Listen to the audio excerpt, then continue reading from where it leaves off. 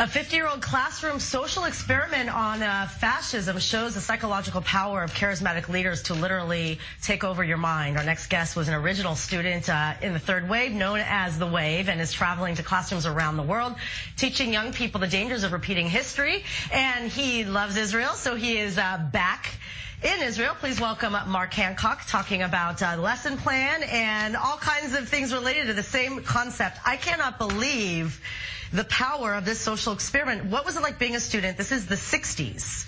So this is the time of the 60s. You're in California talking about, you know, fascism. Like, did you know what was going on? Not entirely. It was it was a uh, it was a history class, and it was a young. We were 15 in 10th grade. Our teacher was 25. It was his first year teaching. He was a very exciting and fun teacher.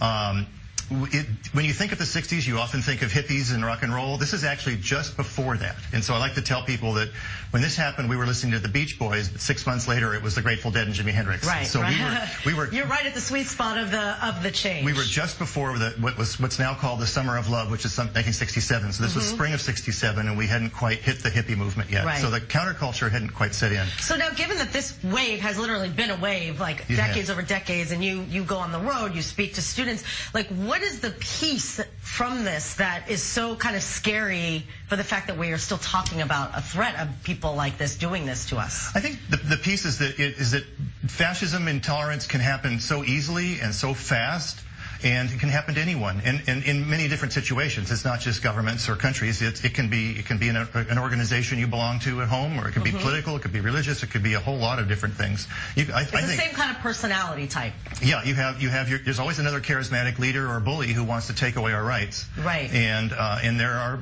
in those in the followers, there are many who don't really spend a lot of time thinking about it, and, right. and, they get caught up in it.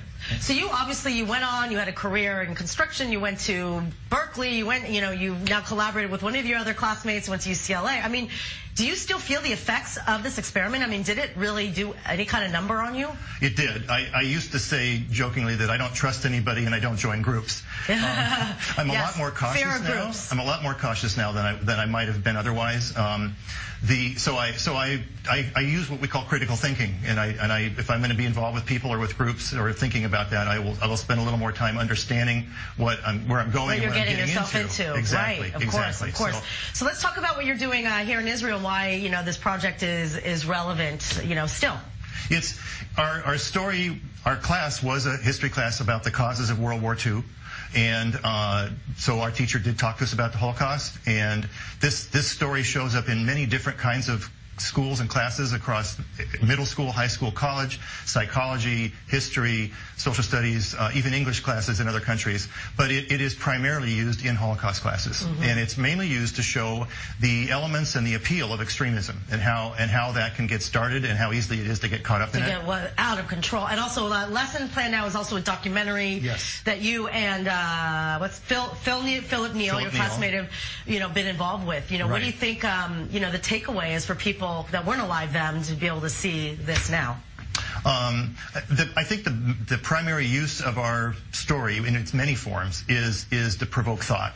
And especially in schools, you, it encourages kids to understand the dynamics of these things so maybe they won't get caught up in it, but also uh, it, it, it, enables them to think about critical thinking and right. maybe they're a little less likely right. to, to, rush into things. Thank you so much for coming in. I wish we had more time. You're so interesting and fascinating. I wish we had more time. Uh, next time uh, we'll come back. We'll come yeah. back next time you're in Israel, okay? Thank you. I look forward Thank to that. Have Thank a good you weekend. Much. Coming up next is